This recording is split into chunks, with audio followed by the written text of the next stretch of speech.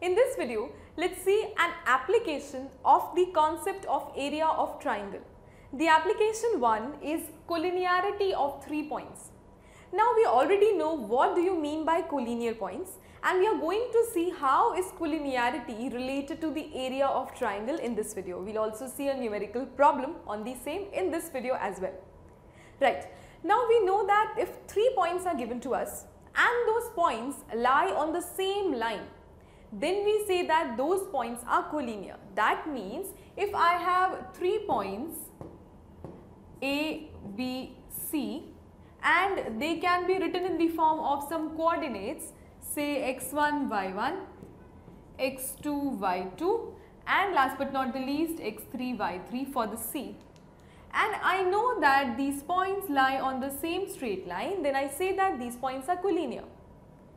Now being collinear actually does not mean anything else except what? Except being on the same straight line. And if they are on the same straight line, what can you conclude about area of this triangle? Actually, no triangle is formed with these points. Since no triangle is formed with these points, the area would also not exist. It would be 0. So, for collinear points, I write here for collinear points,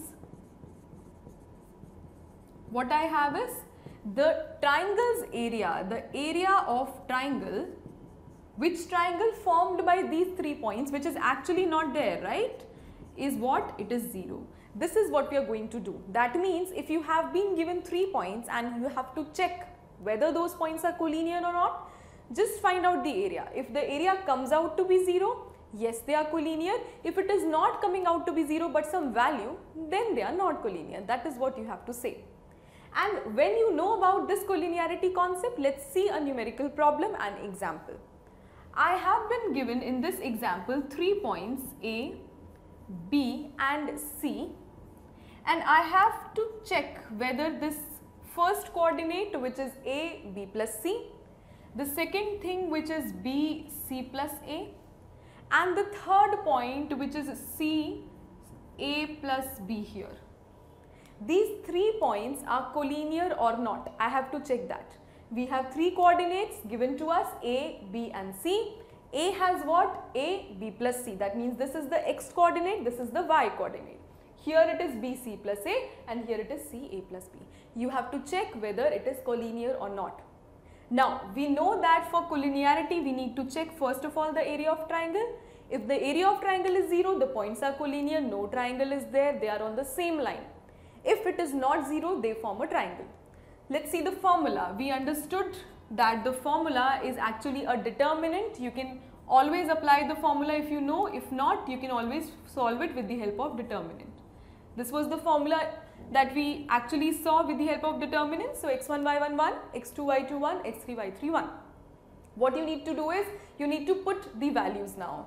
So, half x1 is what? It is a Understand the first coordinate is x1.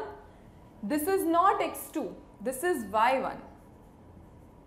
Again, this is your x2. This is your y2.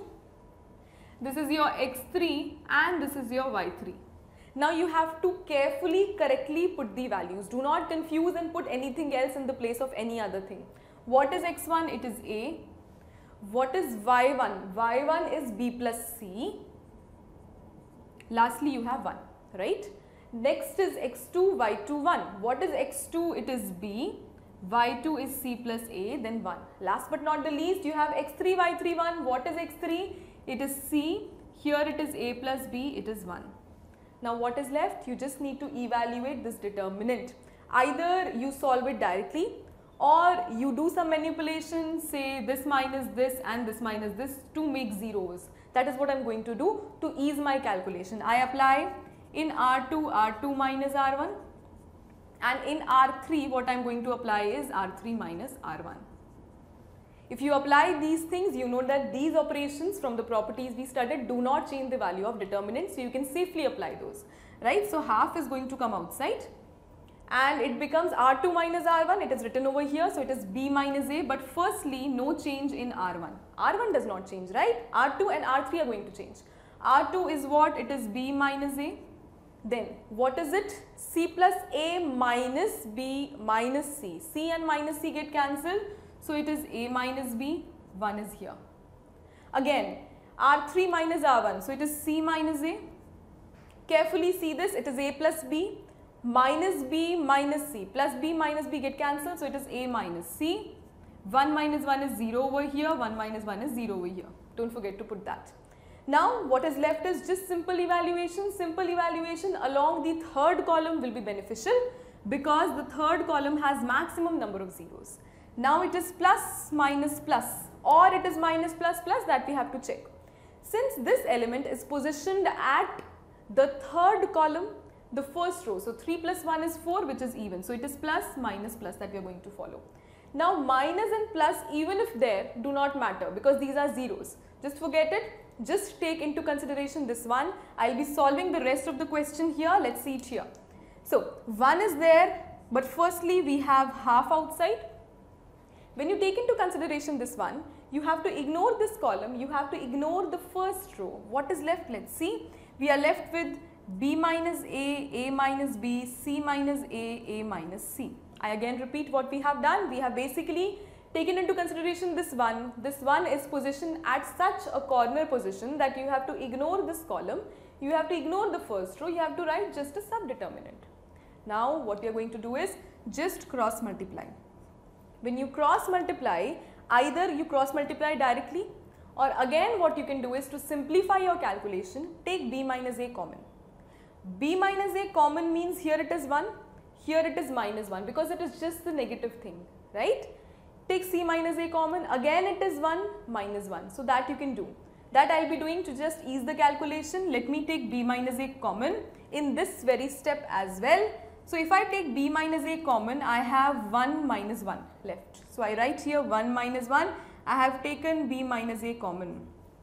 Similarly, if I take c minus a common, c minus a will come outside, this is a minus c, so it is again 1 minus 1. So 1 minus 1 b minus a is written over here. I can just write c minus a also along with this.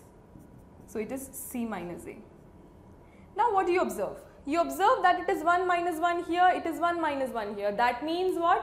That means you have identical rows and by the determinants property we studied, we know that if we have identical rows or identical columns in a determinant, the value of determinant is what? It is 0. So inside everything is 0, 0 multiplied by half or c minus a or anything does not matter.